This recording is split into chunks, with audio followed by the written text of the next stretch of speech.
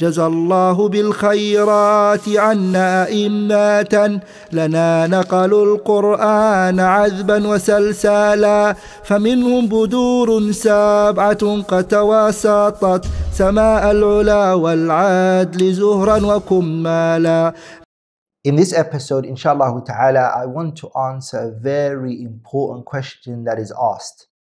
Many people ask this question, which is هل تشتمل المصاحف العثمانية على الأحرف السبعة؟ Do the Masahif Uthman sent to the five main cities, do they consist of the seven ahruf? The answer depends on what your definition of al-ahruf al-sab'a is. What is the definition for al-ahruf al-sab'a? What do you mean by al-ahruf al-sab'a? Because remember we mentioned many views regarding it. So every scholar or every imam gave the answer to this question depending on the definition they gave for al-ahruf al-sab'a. And ولذلك, because of this, the views regarding uh, the answer of this question uh, became three. The first view is أنها لا تشتمل إلا على حرف قريش فقط. The first view it suggests and it says that it only consists of the Quraysh harf. This is the view held by Ibn Jarir al-Tabari, Al-Imam Abi Ja'far al-Tahawi, Ibn Hibban and Ibn Abdul Barr. And the reason why they said this is because they are of the opinion that the sab'ah, al-ahruf al-sab'ah, it means seven dialects of the Arabs. Remember that was, that was their view. Ibn Jarir al-Tabari, Imam al-Tahawi, Ibn Abdul Barr and others, they held the opinion that the Al-Ahruf al-Sab'a meant seven dialects of the Arabs. So they say that the Masahif al-Uthmaniyah it consists of one dialect and that is the dialect of uh, Al-Quraysh the dialect of Quraysh they used a couple of evidence I'm going to mention two of the evidences that they used the first evidence that they used is the statement of Uthman radiallahu ta'ala anhu when he spoke to the scribes and he said to them, إِذَا اخْتَلَفْتُمْ أَنْتُمْ وَزَيْدٌ If you guys and Zayd differ, إِذَا اخْتَلَفْتُمْ أَنْتُمْ وَزَيْدُ بْنُ ثَابِتٍ If you differ amongst yourselves and Zayd فَاقْتُبُوهُ بِلِسَانِ قُرَيْشٍ فَإِنَّمَا نَزَلَ بِلِسَانِهِمْ If you differ amongst yourselves, then write it in the dialect of Quraysh, for verily the Quran came down on that. So their argument here is Uthman instructed the Sahabas to write in the dialect of Quraysh. That's what they're saying. Their second argument is, their second argument is, or their second evidence, is that the ahruf came down in the early stages of Islam في صدر الإسلام للتيسير على الأمة to make matters easy for the ummah. It came down to remove hardship from them. Once the people's tongues became uh, trained, the people's tongues became used to the recitation of Quraysh or the dialect of Quraysh, then the Quran became that one dialect. And that's their argument. Those two arguments have been repelled. Those two, those two arguments or those two evidences have been debunked. And we're going to mention the response that were given to them, inshallah ta'ala. The first response that was given is that it was said to them, Ibn Jarir and Al-Tahawi and Ibn Hibban and Ibn Abdul Barr, it was said to them, you guys saying, You guys saying that Uthman said to the Sahabas who were writing the Quran, That statement, It's not referring to في جوهر الألفاظ وبنية الكلمات when it wasn't referring to the wordings it was referring to how to write it so it has nothing to do with the concept of what word should be put in here or not. It's talking about uh, how should it be written, in what way. If you differ in the way that a word is written, okay, then go in accordance to the writing of Quraysh. And the evidence to show that it was referring to just the writing and not uh, Jawharul Alfad and Binyatul Kalimat is the fact that he said, Faktubuhu, write it in. The concept was, how should that word be written? Is what the Khilaf Uthman radiallahu anhu was referring to. The second argument that was given to them, which is, um, there, are, there are no evidences. There are no evidences that suggests Uthman radiallahu uh, Uthman ibn Affan radiallahu ta'ala anhu he commanded the writers to be written in one harf and to abandon the, the other six. There's no evidences. So for you guys to say that and to claim it, bring a clear-cut evidence. The evidence that you brought, which is إذا اختلفتم أنتم وزيد بن ثابت فاكتبوه بلسان قريش فإنما فإنما نزل بلسانهم. This is not an evidence. It's not a proof. It doesn't show your argument. And last but not least, the third response that was given to them was that the fact that we have qira'at today, different types of qira'at in the Quran, is an evidence to show that the ahruf is still present in the Quran. Okay? So, if it was only Quraysh, then there would be no differences. We'd only see one type of recitation. Now we're going to go into the second opinion. The second view regarding does the Quran that we have today or does the Masahif al-Uthmaniyah does it consist of al-Ahruf al-Sab'ah? The second opinion is the Masahif al-Uthmaniyah, the Uthmani Mus'haf, it consists of, this is the second opinion, it consists of all of the seven ahruf. That's the second opinion. Second view suggests argues that the Masahif al-Uthmaniyah, it consists of all of the Ahruf al-Sab'ah. All of them are in here. This view is attributed to Abu Bakr al-Baqillani and Jama'atun min al-Fuqaha wal-Qurra'i wal-Mutakallimin. A large number of the jurists and the fuqaha, large number of the reciters of the Quran and the Imam of the Quran, a large number of the Mutakallimin, as Ibn Taymiyyah mentioned in his Al-Fatawa. This group, they argued this and they suggest, they brought forward some evidences. The evidence that they brought forward is they said أنه لا يجوز للأمة إهمال شيء من الأحرف لكونها منزلة قرآنا.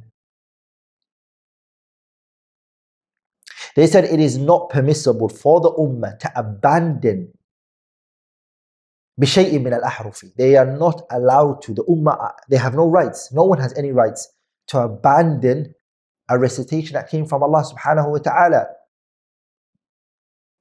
the second argument that they suggested and they brought forward was they said that the Uthmani masahif were copied and it was taken from uh, the mushaf of Abu Bakr radiallahu ta'ala anhu and the Mus'haf of Abu Bakr had all of the seven ahruf. So they said he copied all of that from it. Those are the two strongest arguments that they put forward They were responded to. And the response that was given to them was the, fa- the fact that the Quran came down in seven ahruf was رخصة للتيسير على الأمة. It was to make matters easy for the Ummah. It never was the case that the Quran came down in seven ahruf because it was obligatory for them to read in to read in one of those seven ahruf. No, that wasn't the case. The Quran came down in these seven ahruf to make it easy for the people when it came to reciting the Quran. And so when something is a rukhsa, you're allowed to leave it and abandon it and do the opposite. For, ex- for example, if you're a traveler, you are allowed to either eat whilst you're traveling or you're allowed to break your fast. That is a ruqsa that's given to you. If a person chooses to fast and leaves off eating, that's something you're allowed to. It was a rukhsa in the first place. It was never obligatory for you to uh, eat. Okay? That's the answer that was given to them. The second answer that was given uh, in response to the second point that they brought, which was that the Quran, the Uthmani Mus'haf, was taken from the Mus'haf of Abu Bakr, and Abu Bakr's Mus'haf had all of the seven ahruf. The response that was given to them was that the Mus'haf of Abu Bakr had in there ahruf which were some of them abrogated. And the Sahabas after that unanimously agreed that to dismiss some of the uh, Quran that was in Abu Bakr's Mus'haf. And Abu Bakr's aim and objective was not to unite the people. That wasn't the gharad, that wasn't the hadaf of Abu Bakr. Abu Bakr was just to bring the whole entire Quran in one place, to keep it protected in one place. Whereas Uthman's aim and objective was to unite the people and destroy uh, this disunity that the Muslims are going through. So Uthman radiallahu ta'ala anhu, he took from the Mus'haf of Abu Bakr those verses, uh, he dismissed, sorry, some of those verses which were abrogated. And the Sahabas all agreed that it was abrogated. Okay? So, this view is also flawed. The second opinion is also flawed that Abu Bakr al-Baqillani and Jama'at min al-Fuqaha wal-Qurra wal-Mutakallimin held. The last and final opinion suggests and says that the Uthmani Masahif, Uthman sent five Masahif.